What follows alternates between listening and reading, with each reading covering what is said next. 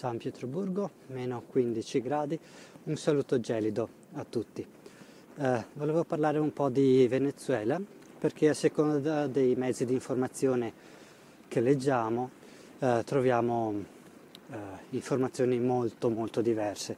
Da un lato c'è il mainstream che demonizza eh, Maduro, dall'altro ci sono anche tanti siti di informazione che, eh, o personaggi che difendono Maduro a spada tratta e, e viene quasi divinizzato ecco, come paladino della, del socialismo.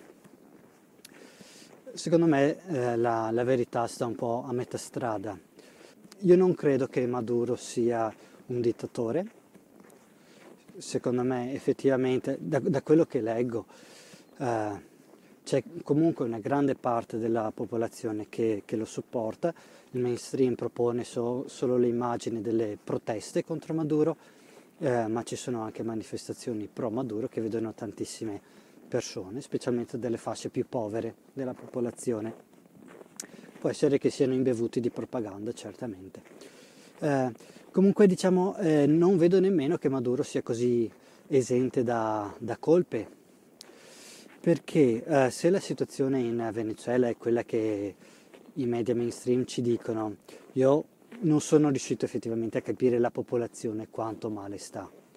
Eh, a seconda di cosa si legge si vedono informazioni molto difficili e senza essere là è davvero difficile eh, farci un'idea obiettiva. Um, però diciamo, supponendo che sia effettivamente vero che la popolazione sta male, come dicono quasi tutti, ecco, ehm, bisogna fare un confronto secondo me con Cuba.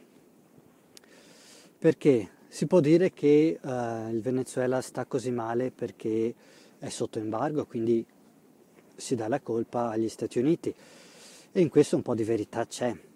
Però, dicevo, guardando Cuba, l'embargo non giustifica tutto, perché anche Cuba è stata sotto embargo per non so quanti anni, 50 forse, un embargo molto, eh, molto stretto, molto duro, eppure la popolazione a Cuba eh, sì, non vivevano da ricchi, però facevano la loro vita eh, dignitosa e eh, non c'erano tutti questi grandi problemi né di ordine pubblico, ma in generale ecco, la sensazione è che a Cuba si vivesse comunque molto meglio. E Cuba non ha il petrolio, non ha tutto il petrolio che il Venezuela ha e che in tutti questi anni eh, vende, esporta tantissimo petrolio, ha una, un ingente eh, dire, eh, gettito di, di, dollari in cambio e dove però la popolazione sta molto peggio che non a Cuba che non aveva questa risorsa.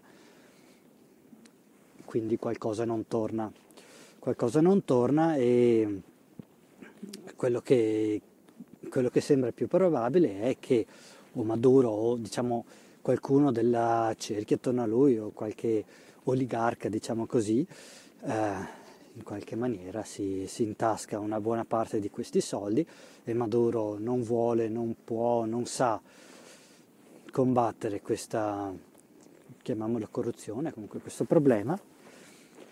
E quindi secondo me in ogni caso è colpevole è responsabile diciamo, di questa situazione, dovrebbe fare molto meglio e molto probabilmente i cittadini venezuelani farebbero bene a cambiare leader. Dopo però non si può neanche dire che questo, adesso non mi ricordo neanche il nome, questo parlamentare, quel capo dell'Assemblea nazionale che si è autoproclamato presidente, supportato da un bel po' di paesi occidentali, ecco sia, sia la soluzione, perché prima di tutto non si fa così l'opposizione non si è presentata alle elezioni, le ha boicottate, quindi lasciando vincere Maduro, perché? Perché era, avevano capito che non sarebbero riusciti a vincere. Purtroppo per loro sono ancora una minoranza. E questa opposizione non è quella mm, schiera di angioletti che viene dipinta dal mainstream, perché sono in gran parte uh, fascisti, fascisti molto violenti, che a confronto i gilet gialli sono degli angioletti perché beh, se, si va, se si va a leggere e informarsi un po' si, si trovano un sacco di episodi di violenza alquanto dura. L'opposizione ha bruciato vivo un supporter di Chavez, di, di Maduro, un socialista, bruciato vivo con la benzina, con sparso di benzina e poi dato fuoco. Hanno provato a fare la stessa cosa con un giornalista che è riuscito a scappare però prima che appiccassero il fuoco. Uh, hanno sparato a un altro giornalista. Diciamo questa, questo movimento di opposizione ha al suo interno una grande componente fascista che non tollera il, il dissenso. Il fatto poi che anche altri fascisti come Bolsonaro, il presidente brasiliano, supportino questo concorrente ecco, che si è autoproclamato presidente, ecco, fa, fa, un po' pensare. Se poi si guardano quali sono le, le componenti della gente che protesta, ecco, non sembrano essere i più poveri, non sembrano essere i più poveri, basta confrontare le foto degli anti-Maduro, dei pro-Maduro, si vede che i pro-Maduro, i socialisti diciamo così, questa è una cosa un po' razziale, razzista, mi sembra, ma effettivamente è così, sono più scuri. Sono più scuri e quindi probabilmente sono proprio le fasce più povere della popolazione. Dicevo prima, possono essere imbevuti di propaganda? È possibile, o è anche possibile che per loro effettivamente non sia cambiato nulla da quello che c'era prima. Magari loro erano poveri prima, poveri adesso, però adesso si sentono eh, si sentono parte della, della, società e quindi magari supportano Maduro per questo, magari non vedono le sue immense responsabilità sulla situazione.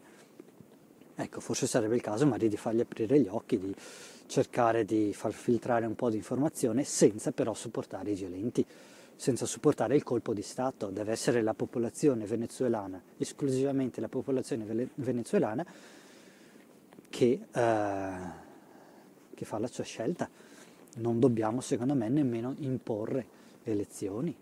Le elezioni ci sono state e spetta diciamo al, al popolo venezuelano, più gente protesterà e probabilmente Maduro eh, si deciderà a fare un passo indietro se questo, se questo succede. Quindi io sono assolutamente contrario, beh, come sempre, a qualsiasi intervento esterno, eh, fa un po' sorridere o piangere a seconda dei punti di vista che il presidente Macron supporta eh, gli oppositori, no. Quando però noi supportiamo gli oppositori in Francia, no, questo non si può fare.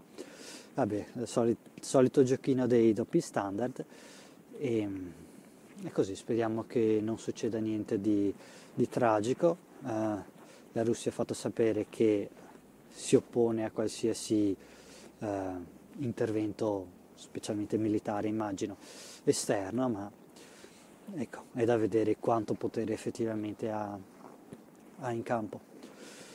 Va bene, uh, il mio consiglio come sempre è cercare di leggere le fonti da più parti. C'era per esempio la storia, mamma mia questa, della, della signora che ha partorito in strada in Venezuela perché non aveva soldi per permettersi di andare in ospedale. Questa è chiaramente una bufala messa in giro da Repubblica, dal Fatto Quotidiano, che come al solito traducono, traducono, fanno i retweet delle notizie senza, senza verificarle.